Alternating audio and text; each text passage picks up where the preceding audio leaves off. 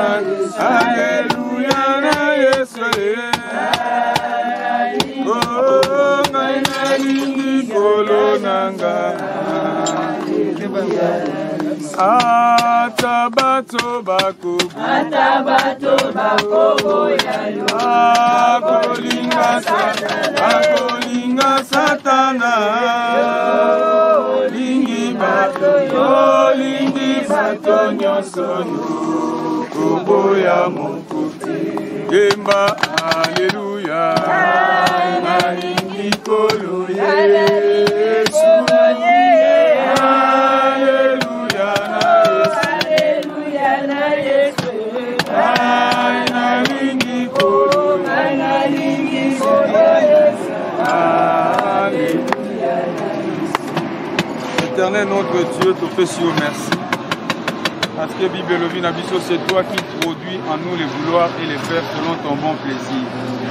eza na mutu te akoki koempeshe oyo oza nango bosenga osala elobi na makomi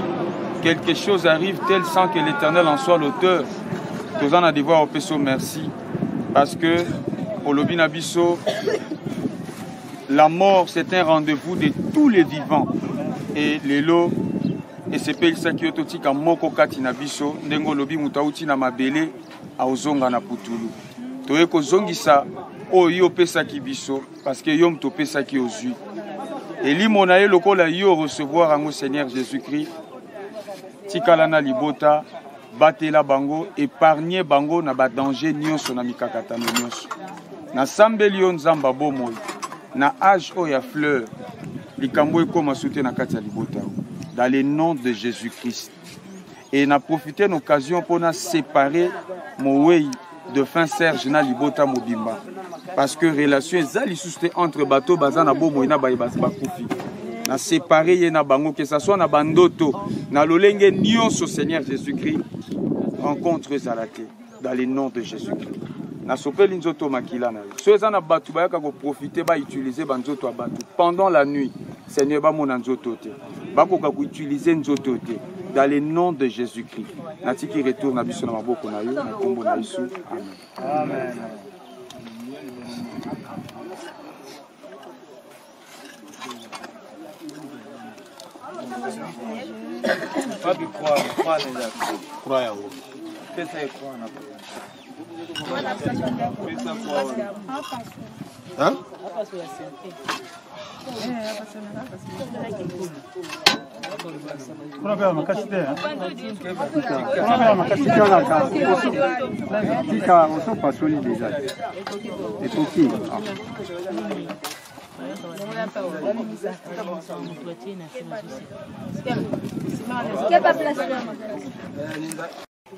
serge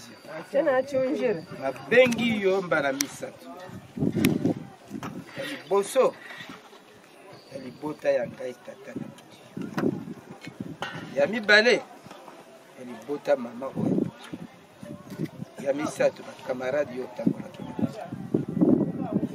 soki nalobi na yo boye paske liwa na yo ezali somo na miso ya bato nyonso moto moko aza kondima te ke diocese okokufa na age oyo yo oyebisaka ngai ke yo okoki kosala nzoto na mabe te nayebi yango yango nasengi na yo natelemi na makolo na yo sadire makolo na yo etambola naza kotala yo miso miso na mpe etambola ozali arme tambola namona preuve na yo soki na, na, na, na famille na ngai lakisa na famille na mama na lakisa soki bakamarade mama na ngai tambola tambola tambola nayebisi yo tambola bamonaka te me bakomona makasi oyo oza na yango lakisa ngai yango e mikolo eleka mingi mikolo eleka mingi soki na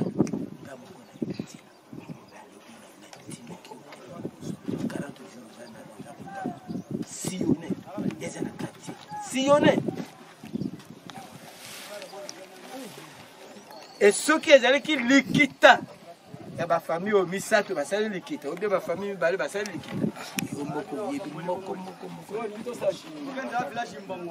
luka nalobaka te ngai nakoloba parceke liwa na yo esali nga soni motu moko aleki koyoka mawa lokola ngai awa aza te nakanisi ndenge nakokolaki nde okoma motu moko andimaka te kenga moto nakota te enga moto nakokoli nasuki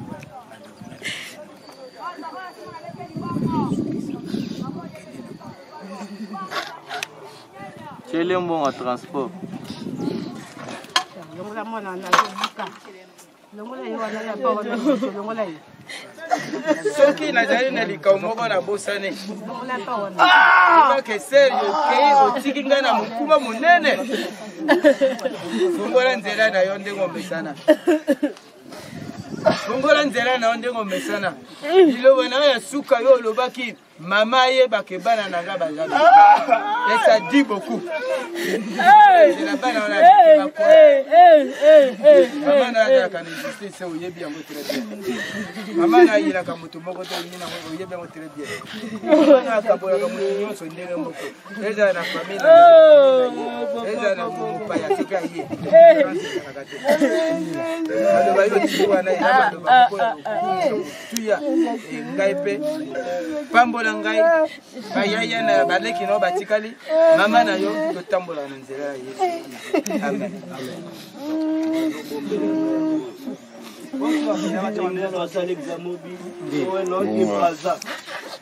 Ah, okutana na nzambe otala mabe na yo te me nzambe alola yamba yo afungolela yo nzela ndenge bible ezoloba na biso ke soki tovivra tovivra mpo na ye so tokufa mpe tokufaka mpo na ye nalingi alèvement oyo ekosalema yo ozala parmi bato bakozala leve parmi bato bakomona bokonzi ya likolo parmi bato bakokutana na nzambe parce que towelelaka liboso ezalaka bokonzi ya likolo nyonso eyaka ezalaka matabisi oyo nzambe apesaka biso yo olobaki ete pour le meilleur pour le pire ngai nakabwani na yo na kuku ngai nakundi yo otikeli ngai bana kende na kimia bana ngai mpe bakola na kimia letishe 8 ans juju 6 ans joyela 3 ans ce n'est pas facile mais nzambe azwa contrôle ya nyonso amen olebaka nayebisaka bino nzela ya losambo natya koyebisa mwana moko te atambola na mokili napesa bino conseil nzambe se die dabord dabord die naza kopesa bino punition oyo akemesi te natyaka motambo tosantine yaye akendaki eglize te naya koya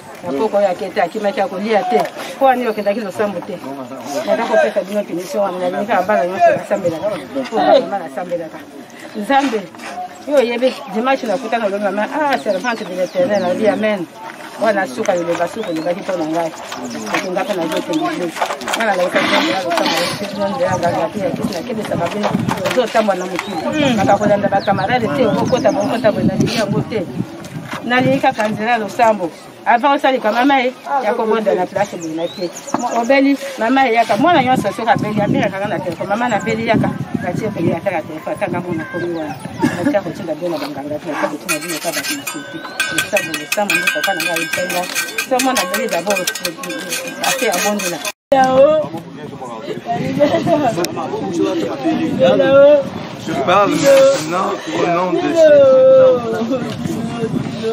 Serge, mon grand frère, je connais ton destin. nayebi yango malamu parce que dieu ne kinga je parle cela en haut ya bato nyonso serge okufi liwa ya volonté ya nzambe te serge okufi le 9 juin na 1 heure du matin toye kokunda yo mokolo ya lelo serge na miso na yo ma ya miso ezobima lolenge ma ya miso ebimi yango oyo nga mpe natangisi comme tu me disais toujours comme tu me disais toujours je me lève comme étant le roi de dieu oyo obandaki kondima na motema no mibapa obandaki kosoutenir nalobi yango lelo comme mon dieu dit il est le dieu de vengeance et de restribution vengeance na yawe nzambe ekokisama ndenge napesaki bango 3 mois na nsima ya liwa na yo mokolo oyo autiao na mabele ebandi lelo ndenge natiaki wana epreuve nzambe oyo oponanga uta bomwana mpe bolenge na ngai na mona ye je parle devant mon père devant ma mère comme étant l'homme de dieu oyo nyonso to asimbaki bomoi na yo ezala na famille ya botata ndenge papa auti koloba ezala na bomama ezala biso baleki na yo ezala biso bana na yo oyo bazali awa oyo nyonso tu akontribuaki ezala bacamarade na yo akutana na nzambe oyo lokola nzambe oyo akosaka te alobaka ya solo alingi namona mai ya miso otangisi eza ya mawa te epai na ngai namoni yango ya esengo parceke ovandi esika ya malamu